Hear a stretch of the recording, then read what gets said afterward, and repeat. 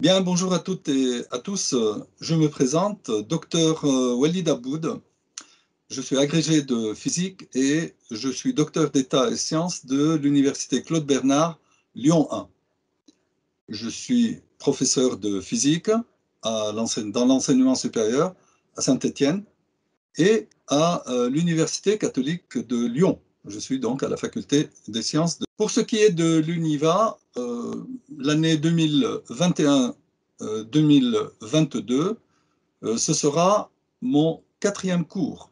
J'ai commencé d'abord avec le thème de l'Iran, un cours sur l'Iran, que nous avons pu mener comme il faut.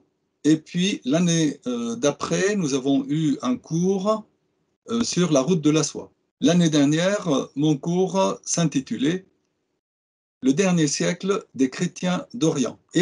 Pour l'année prochaine, je propose un cours qui s'intitule Le Moyen-Orient, un Orient si proche, pendant lequel je vais traiter d'abord le premier euh, thème, le premier chapitre sur le Liban, qui est mon pays euh, natal, le deuxième thème sera sur le conflit israélo-palestinien et ses implications euh, sur le Moyen-Orient et sur le monde, hein, au-delà du Moyen-Orient.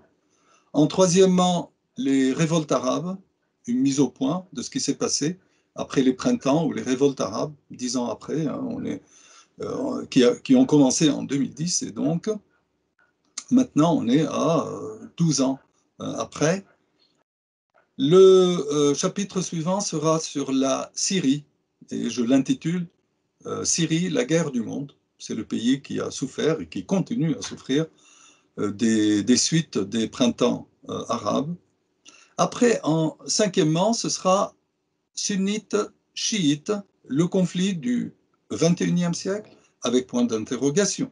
Donc, ce n'est pas une affirmation, c'est une interrogation, et je l'aborderai, je l'expliquerai et puis, le dernier cours sera sur les nouvelles puissances régionales. Les nouvelles puissances régionales, nous verrons.